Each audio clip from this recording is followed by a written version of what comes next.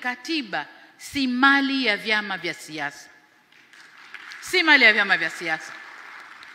Katiba ni ya Watanzania, awe ana chama awe hana, awe ana dini awe hana, awe mrefu awe mfupi, mnene mwembamba, mkubwa mdogo. Katiba ni mali ya Watanzania. Kwa hiyo matengenezo yake yanahitaji tafakuri kubwa sana, kubwa sana.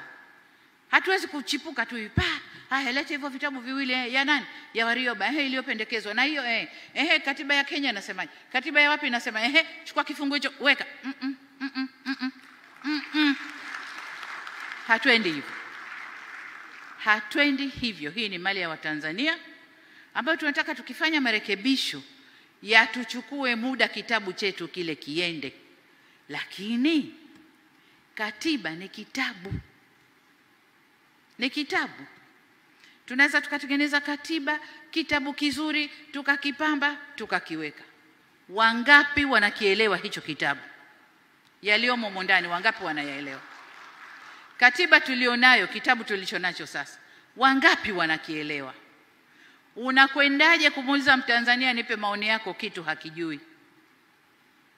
Tunaanza na elimu ya Watanzania wajue ni kitu gani wajue hicho ni kitu gani, kinasemaje, kinani, sababu tunakwenda viongozi wa kisiasa tunadhani tuna right, haki ya kuburuza watu.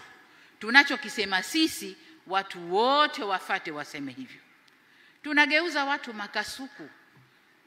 Tunataka katiba mpya, watu wote eh, tunataka katiba mpya, tunataka katiba mpya. Nenda muulize, we kifungu gani cha katiba kinakuudhi? Hajui, hajui hajui au nataka nini kibadilike? Ah, maana yake ndio tunataka mpya tu, tunataka mpya tu, tunataka mpya tu. Sasa mpya ilete nini?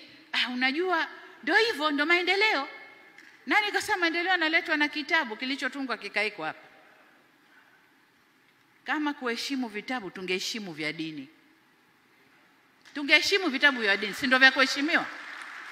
Wangapi tunavikiuka, hatuviheshimu na huwezi kuheshimu kitabu mpaka ukijue maana yake, mpaka ukijue maana yake, hata cha dini. Huwezi kuheshimu masafu yako kama hujui humo ndani ya masafu kuna nini. Huwezi kuheshimu Bible mpaka ujue ndani ya hiyo Bible kuna nini. Na ndio maana unaona mtu mwingine anaranda nayo hivi, kachukua masafu Bible, matendo yake ni tofauti na yaliyomo humo ndani tofauti na yaliyomo humu ndani. Kwa hiyo katiba si kitabu, ni morality, ethical standards yaliyoandikwa pale. Tumekubaliana Tanzania tutaenda kwa mwendo huu, kila mtu aujue, kila mtu auamini. Ethics zetu zitakuwa hivi, kila mtu azijue, kila mtu aziamini, then tunaziweka kwenye kitabu chetu, tunaweka kwa reference kwa reference, lakini katiba iweko mioyoni kwa watu, kila mtu